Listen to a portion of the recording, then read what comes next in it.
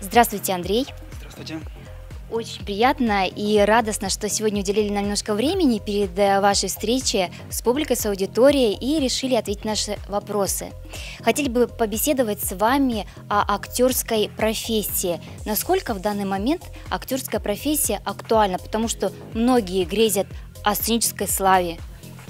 Вы знаете, вот недавно, как вчера, э, не далее, как вчера, я снимался в очень хорошей такой киноистории, и рядом со мной были, э, ну, не профессиональные артисты, просто еще фактурные. Такие, один был большой, очень такой выше меня человек. И вот э, после того, как мы сыграли сцену там, с моим партнером, э, они так посмотрели и сказали, слушайте, ребята, мы-то думали, что это все так так легко и просто. Оказывается, это действительно есть профессия, которой нужно владеть, которую уметь. И это они еще говорили в контексте кино. А что касается театра, это еще отдельный слой и пласт, потому что это очень сложно. Поэтому, конечно, э, за счет из-за, из глянцевых журналов кажется, что это все э, только шампанское и красные дорожки. Вот. А, но это, конечно, не так. И это большой труд, это серьезная профессия, которую нужно осваивать, и, в общем-то, осваивать всю жизнь, потому что нет, нет пределов э, в хорошем смысле, в самом прямом смысле, нет предела совершенству. Поэтому сложная, тяжелая, интересная профессия. Ну вот и вы пишете на своем сайте, что еще в школьном возрасте вы уже принимали участие в театральных кружках. В какой жизненный момент вы уже осознанно поняли, что вы хотите быть актером? Когда это произошло? Я думаю, что последние два класса школы точно, а то и, наверное, и три, и захлестом так три, может быть, даже последние класса школы. Я уже понимал, что я без этого не могу, что мне интересно это, и э, математика для меня, при всем уважении к математике, э, чуть менее интересна. Вы успешный актер театра и кино. А расскажите, пожалуйста, чем отличается сцена театра от киноплощадки? Это же разные, наверное, вещи. Так нельзя однозначно сказать, что, что интереснее. Но в театре, конечно, больше свободы, потому что уже режиссера рядом с тобой нет, а камера тебя не просто сделает второй дубль, и ты э, э, либо завоевываешь внимание зрителя, либо нет. Это и страшно, и интересно, и в этом есть, наверное, больше ситуативности и азарта и это дает какой-то вот такой адреналин.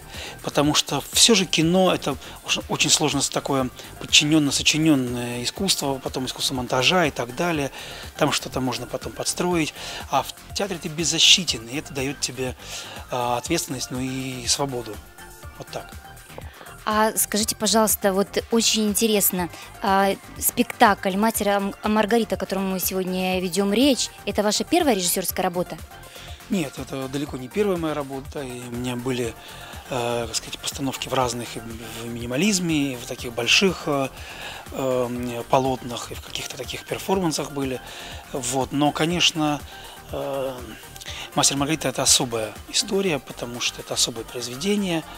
Э, и требует особых э, подходов. Не говоря о том, что это у нас мюзикл, а не, не драматический спектакль. Вот очень интересно о подходах. Какие вот режиссерские подходы вы используете? Потому что он же сложный спектакль, очень много мистических сцен. Как вы их э, э реализовывали? Самое сложное это было ограничиться несколькими линиями, потому что, к сожалению, все темы и все персонажи, и все линии, которые есть у Булгакова, нельзя вместить в тот формат, э, на языке которого мы будем говорить со зрителем. Если у человека немного опыта, да, вот как говорят, например, где-то режиссер увидел э, интересную личность, вот увидел в этом человеке харизматичность, и он пригласил его либо в кино, либо в театр. Возможно ли такое, что кого-то вот увидели, и этот человек подходит под главную роль? Вы знаете, у нас э, есть несколько актеров, которые э, очень хотят, очень хотят э, играть. У кого-то не хватает пока вокальных э, наработок, у кого-то актерских не хватает. И, но они сами пошли на этот шаг, и они ходят, они репетируют, они смотрят. Вот есть желание, поэтому у нас не было такого, что я говорю, ой, давайте мы возьмем его и будем мучиться с ним. Нет, есть желание, получается, ну, непрофессиональных актеров, а мы говорим, почему нет, давайте пробовать, потому что искусство дело такое, оно иногда этот цветок э, актерский, вокальный может раскрыться и дать неожиданное по плоды, вот, скажем так. Поэтому, поскольку у нас очень живой организм, мы вот у нас тоже есть несколько таких непрофессиональных актеров, которые хотят, ходят, занимаются, пробуют и работают. Спасибо. И вот в завершении хотелось бы такой узнать, есть ли секрет э, перед выходом, который, либо, может быть, ритуал, который вы используете перед выходом на сцену? Можете его раскрыть? Может быть, у вас есть волнение, да, вот у вас уже большой опыт.